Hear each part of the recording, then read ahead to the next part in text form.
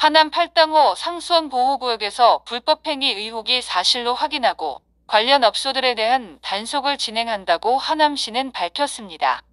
팔당대교 하류 부근 미사대로 인접한 창우동 일부 업소들이 불법 영업을 하고 있다며 하남시에 민원이 제기되어 불가피하게 단속을 진행한다고 합니다. 비레드송 베이커리 카페와 비미나루터 베이커리 카페를 비롯한 대상 업소들은 주제를 무시하고 건축물을 시공하거나 용도를 변형하여 영업을 이어가고 있다고 합니다. 특히 비레드송 베이커리 카페는 전답으로 추정되는 구름지를 흙무더기로 변형하여 주차장과 건물을 건설한 것으로 의심되고 있고 비미나루터 베이커리 카페는 임시 건축물을 활용한 카페를 운영하며 무단으로 주차장을 조성하는 등 위법 행위를 하고 있습니다.